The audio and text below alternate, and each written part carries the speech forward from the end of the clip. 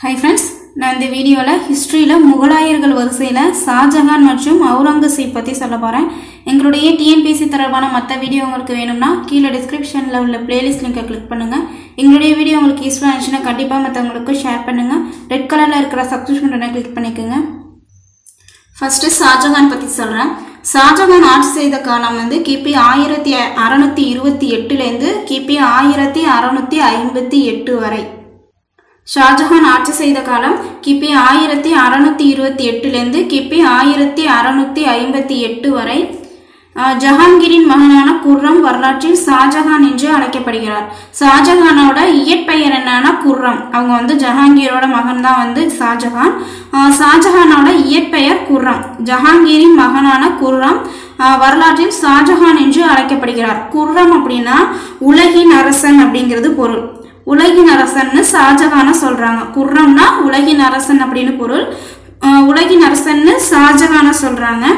அடுத்து இவங்க வந்து கிபி ஆயிரத்தி ஐநூத்தி தொண்ணூத்தி ரெண்டுல லாகூர்ல பிறந்திருக்காங்க. இவங்களுடைய தாயார் இந்து சமயத்தை சேர்ந்தவங்க.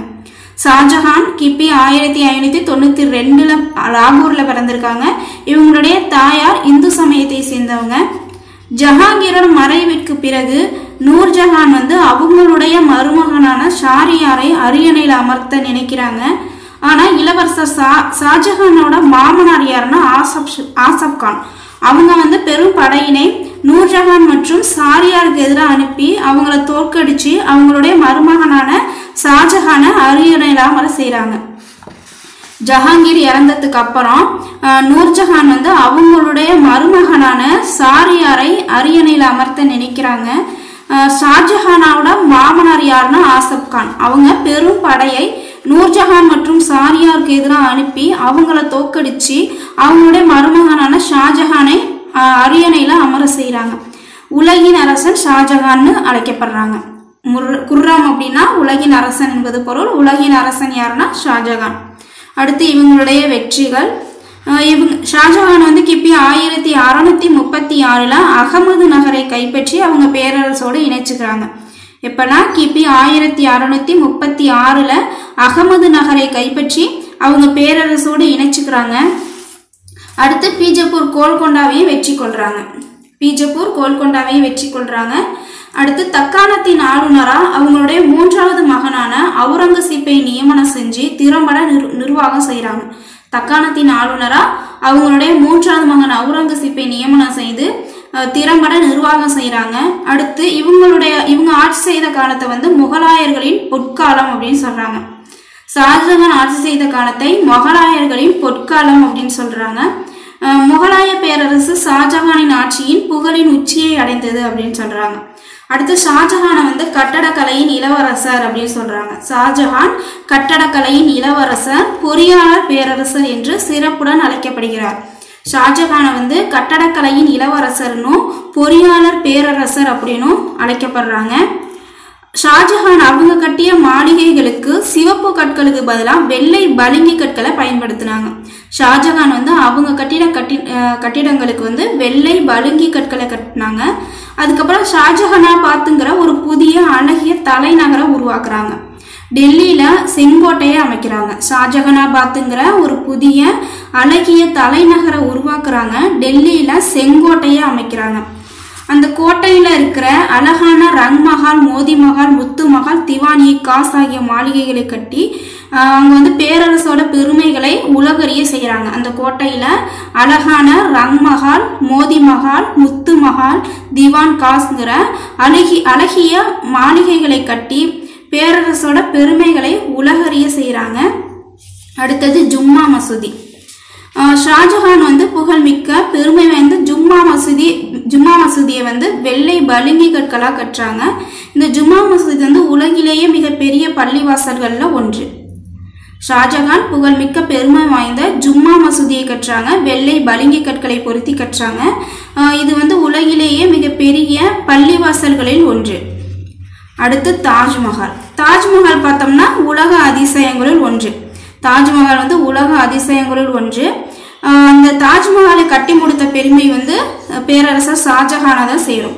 இந்த நினைவு சின்னம் வந்து எங்க கட்டியிருக்காங்க அப்படின்னு பார்த்தோம்னாக்கா யமுனை ஆற்றாங்கரையில் ஆக்ரா நகர்ல அவங்களுடைய அன்பு மனைவியான மும்தாஜின் நினைவாக கட்டப்பட்டது. இந்த தாஜ்மஹால் வந்து யமுனை ஆற்றங்கரையில ஆக்ரா நகர்ல ஷாஜஹானோட அன்பு மனைவியான மும்தாஜின் நினைவாக ஷாஜஹான் வந்து கட்டினார்.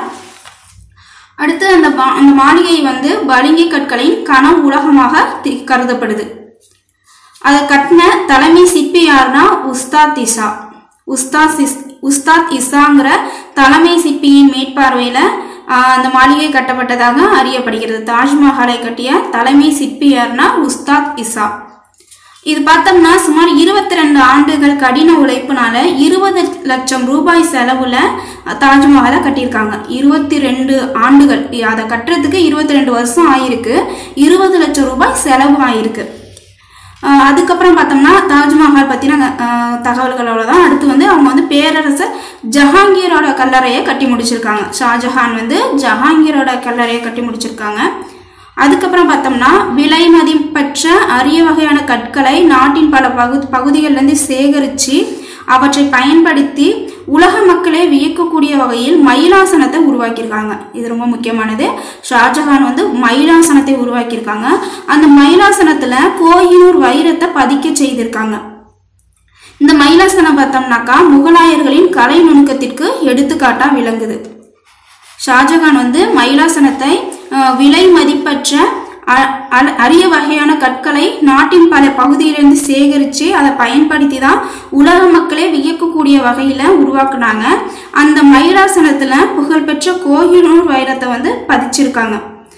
அடுத்து அந்த மயிலாசனம் பாரசீக படையெடுப்பாளர் நாதிர் ஷா கிபி ஆயிரத்தி எழுநூற்றி முப்பத்தி ஒன்பதில் எடுத்து சென்றுடுறாங்க அந்த மயிலாசனத்தை பாரசீக படையெடுப்பாளரான நாதிர்ஷா வந்து கிபி ஆயிரத்தி எழுநூத்தி முப்பத்தி ஒன்பதுல எடுத்து சென்றுடுறாங்க பேரரசர் ஷாஜஹான் வந்து கிபி ஆயிரத்தி அறுநூத்தி ஐம்பத்தி ஏழுல நோ நோயுறாங்க இந்த செய்தியை அறிந்து அவங்களுடைய நான்கு புதல்வர்களும் உறவினை மறைந்து வாரிசுரிமை போர்ல ஈடுபடுறாங்க.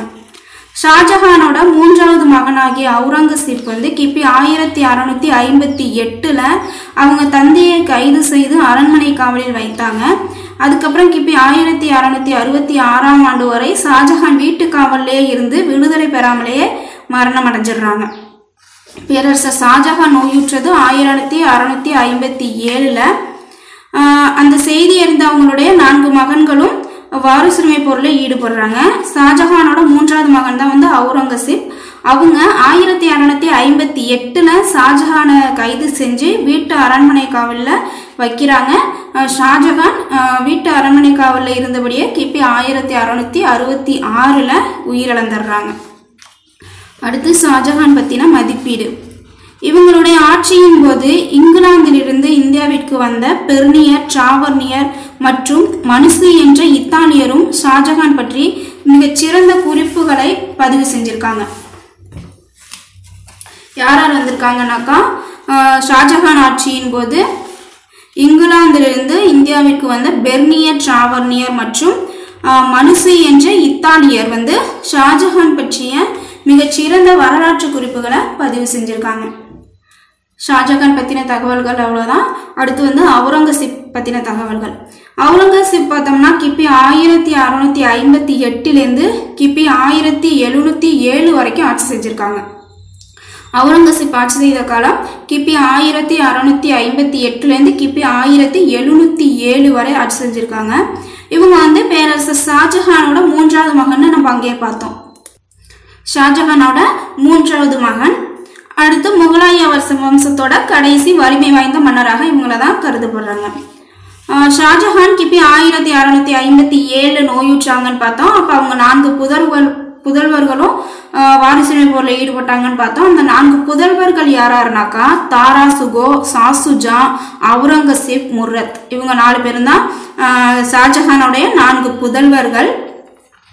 இவங்க என்ன இவங்கெல்லாம் என்ன பண்ணாங்கனாக்கா த அவுரங்கசீப் வந்து மற்ற மூன்று சகோதரர்களையும் கொன்னுட்டு அவங்க ஆட்சியில் அமர்ந்ததா சொல்லப்படுது. தக்காணத்தில் ஆளுநராக இருந்த அவுரங்கசீப் பெரும் படையோடு டெல்லிக்கு விரைந்து தனது மூன்று சகோதரர்களையும் கொலை செய்துவிட்டு தந்தையை அரண்மனை காவலில் வைத்துவிட்டு முகலாய அரையன் அரியணையில் அமர்ந்து அவங்கள வந்து ஆலம்கீர் அப்படிங்கிற ஒரு சிறப்பு பட்டத்தை சூட்டிக்கிட்டு அவங்க வந்து அரியணையில் அமர்ந்தாங்க அப்படின்னு சொல்லப்படுது.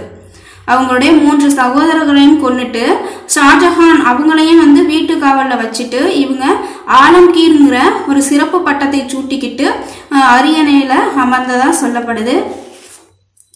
அடுத்து இவங்களுடைய சமய கொள்கை. அவுரங்கசீப்போட சமய கொள்கை. அவுரங்கசீப் பார்த்தோம்னா சன்னி முஸ்லீம் பிரிவை சார்ந்தவங்க.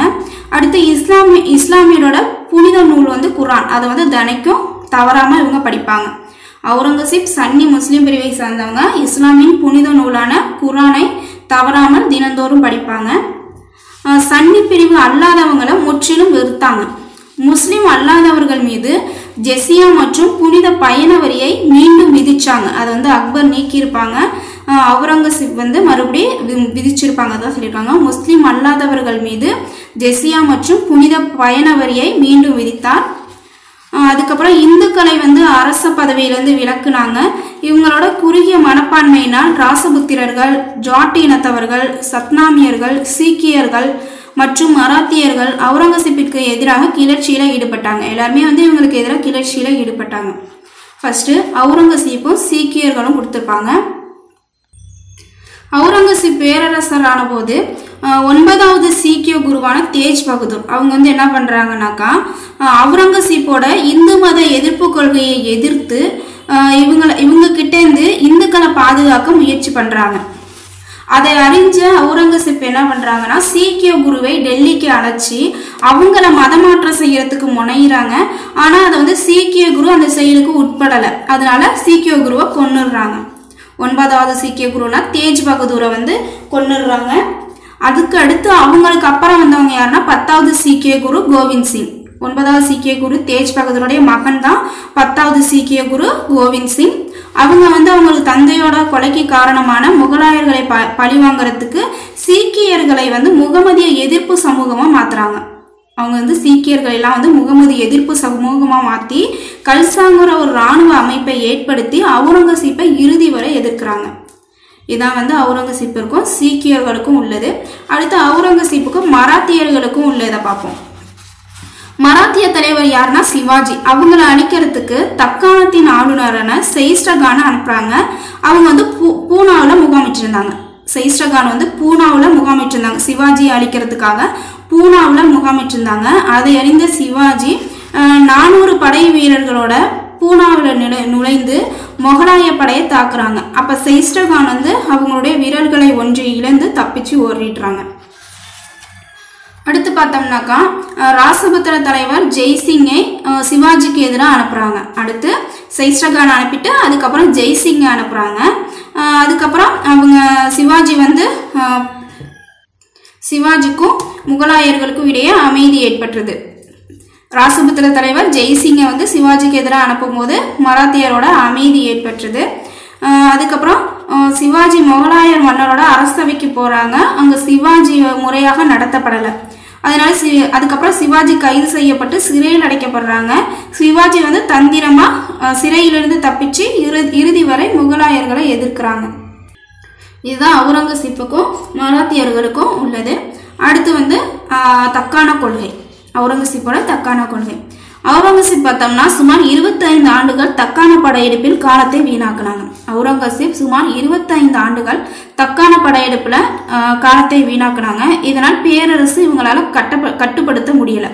பேரரசு சிதை சிதைவிடுவதை வந்து இவங்க தன் கண்களாலேயே காண காண வேண்டிய நிர்பந்தத்திற்கு உள்ளானாங்க தொடர்ச்சியான போர்கள்னால கருவூலம் காலியானது.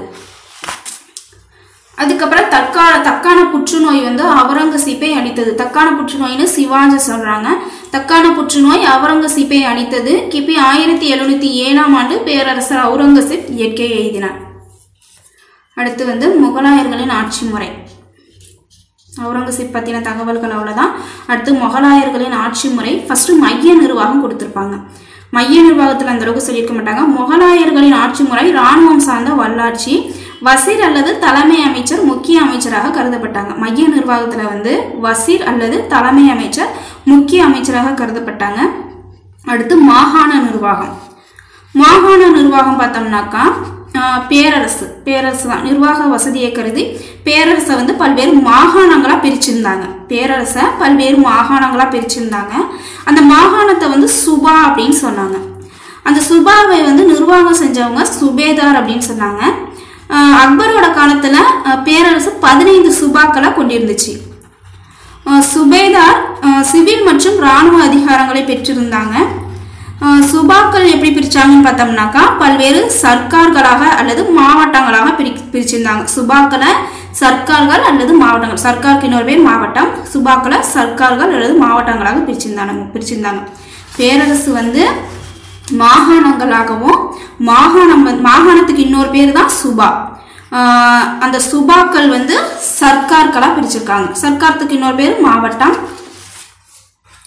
அந்த சர்க்காரோட ஆட்சியாளர் வந்து பௌஜ்தார் அப்படின்னு சொல்றாங்க. சர்க்காரோட ஆட்சியாளர் பௌஜ்தார்னு சொல்றாங்க. அந்த சர்க்கார்களை பர்கானாக்களாக பிரிக்கப்பட்டிருந்துச்சு. அடுத்து பர்கானாக்குள்ள இருக்கிறது தான் வந்து கிராமம். கிராமம் தான் மாநில நிர்வாகத்தோட கடைசி பிரிவு. கிராமினி வந்து கிராமத்தின் நிர்வாக அதிகாரி. கிராம கிராமத்துல நிர்வாக அதிகாரி பண்றவங்க யாருன்னாக்கா கிராமினி இதுதான் வந்து மாகாண நிர்வாகத்துல வர்றது. அடுத்து வந்து நம்ம வந்து நம்ம அங்கே முன்னாடி ஒன்று பார்த்ததா அதாவது பேரரசு வந்து மாகாணங்களாக பிரிச்சிருந்தாங்க அங்கே பிரிச்சிருந்தாங்க. மாகாணங்களுக்கு இன்னொரு பேர் சுபான்னு பார்த்தோம். சுபாக்கள் வந்து சர்க்கார்களாக பிரிச்சிருந்தாங்க. சர்க்கார்கள் வந்து பர்கானாக்களாக பிரிச்சிருந்தது. பர்கானாக்குள்ளே இருக்கிறது தான் வந்து கிராமங்கள். கிராமங்கள் தான் வந்து மாநில நிர்வாகத்தோட கடைசி பிரிவு. இதுதான் வந்து நிர்வாகத்தில் இருந்தது. அடுத்து வந்து வருவாய் நிர்வாகம். பேரரசோட முக்கிய வருவாய் என்னன்னு பார்த்தோம்னா நிலவரி.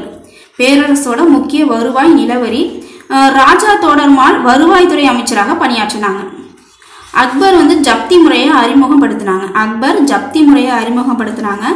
அடுத்து இராணுவ நிர்வாகம். அக்பர் மன்சப்தாரி முறையை அறிமுகப்படுத்தினாங்க. மன்சப் அப்படின்னாக்கா தரம் அல்லது இடம்ங்கிறது பொருள். மன்சப்கள் அவங்க வச்சிருந்த குதிரை படையை அடிப்படையாக கொண்டு அவங்களுடைய தரம் நிர்ணயிக்கப்பட்டது. அவங்க வச்சிருந்த குதிரைகளின் அடிப்படையில் அவர்களின் தரம் நிர்ணயிக்கப்பட்டது. மன்சப்தார்கள் அப்படின்னாக்கா பத்து முதல் ஆய பத்தாயிரம் வரை குதிரைகள் வரை வைத்திருந்தனர். மன்சப்தார்கள் அப்படின்னா பத்து முதல் பத்தாயிரம் குதிரைகள் வரை வச்சிருந்தாங்க. அடுத்து தடுமாறி கொண்டிருந்த மொகலாய பேரரசை வந்து முற்றிலுமா அழிவுற அழிவுற செய்தது நாதிர்ஷா மற்றும் அகமது சாப்தாரி அப்தாலி படையெடுப்புகள். முற்றிலுமா மொகலாய பேரரசை முற்றிலுமா அழிவுற செய்தது எதுன்னு பார்த்தோம்னா நாதிர்ஷா மற்றும் அகமது ஷா அப்தாலியோட படையெடுப்பு. அடுத்து முகலாயர்களில் பார்த்தோம்னாக்கா முகலாய பேரரசு பாபரால் உருவாக்கப்பட்டு அக்பரால் நிலைநிறுத்தப்பட்ட முகலாய பேரரசு அவுரங்கசீப் ஆட்சியின் போது நிலை குலைந்து முடிவுற்றது. முகலாய பேரரசு பாபரால் உருவாக்கப்பட்டு அக்பரால் நிலைநிறுத்தப்பட்ட முகலாய பேரரசு அவுரங்கசீப்பின் ஆட்சியின் போது நிலை குலைந்து முடிவுற்றது. முகலாயர்கள் பற்றின தகவல்கள் அவ்வளோதான் தேங்க்யூ